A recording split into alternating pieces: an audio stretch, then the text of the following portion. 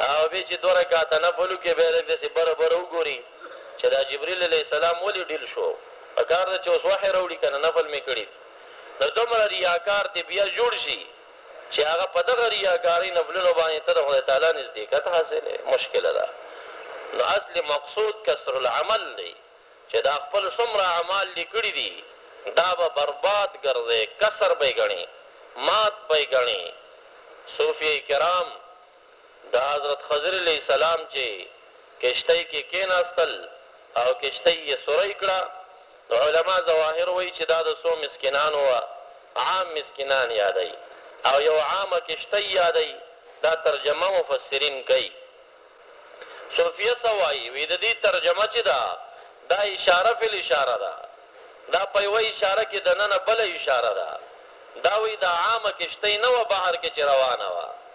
دا د هغه کشتۍ یو مثال خضر علیه السلام ورکه وي هغه ورته دا وویل چې دا کانت لمساکین یعملون فی البحر دا د مسکینانو وه. چې دوی به په بحر کې کار کولو نو هغه وایي چې دا کشتۍ کشتۍ د عمل وه او ماتوالی د دې چې کوم دی کسر العمل دی ماتوالی د دې دا کسر العمل دی نو چې کله انسان ته دا خپل عمل برباد ښکاره شي مات او بې کاره ښکاره شي نو دې وخت کې دی خپل مقصود ته رسېدی شي او د خدای تعالی دوستي حاصلولی شي او که چېرته دا د عمل کښتۍ باندې دی داسې نازېږي چې بس زما نه شفاعت ته ضرورت شته او نه مې واسطې ته شته او بس لمونځ ورته کوم او تلاوت ورته کوم او ترجمې ورته کوم بس ما سره د خدای تعالی ډاريک حسابي وکړي دی دا خپل عمل کسر ونه ګڼي او مات ونه ګڼي.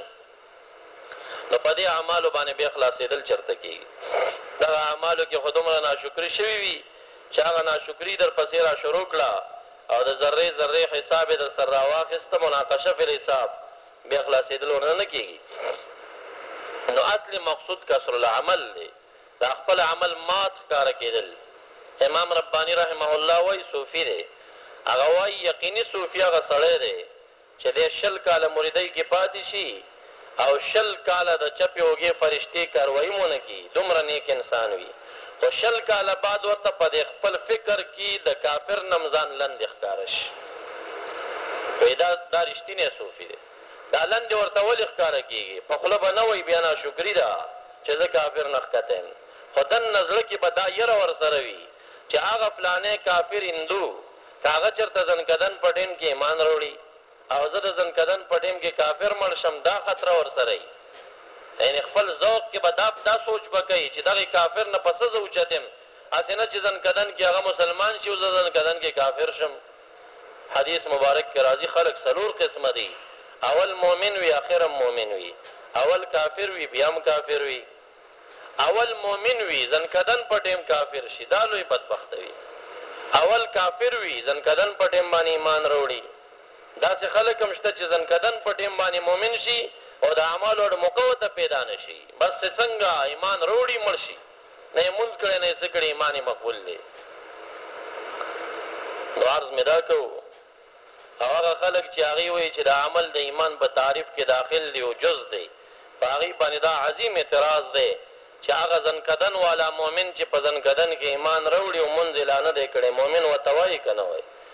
دوی هم ورته مؤمن وایي، په احادیثو کې هم ورته مؤمن ویلی شوی دی او عمل یې نه دی کړی. که عمل د ایمان نه جز شي، په کار ده چې دغه انسان ته مؤمن ونه ویلی شي، عمل یې نه دی کړی او مؤمن. نو معززو حضراتو د بيان خلاصه دا وه چي اله العالمين سره نزدېکت شيخين هم کوئ هر څه کوئ خو ددي لنډه لاره د وصلت چي کومه ده هغه د مشايخ د طريقت دي د هغي څه وابستګي ده د هغي په تعلق باندي چي کوم نزدېکت راځي دا لږ اسان وي دا لنډه لار وي او لوی لوی مشايخ او علماء هغوی چې دې مقامونو ته رسېدلي د چا په تعلق دي، که دلته رحمان بابا رحمة الله علیه دی، که اخوند رضا بابا رحمة الله علیه، که شیخ جنید پېښوري رحمة الله علیه، دا پخواني چې څومره اولیه کرام دا خلک صفتونه کوي او فاتحې یې قبر سر ته لولي، دا د چا مریدان وو او دې زمن کې هم چې کوم معروف اشخاص دي او مشایخ دي او دا خلک یې قدر کوي، دا د چا مریدان دي؟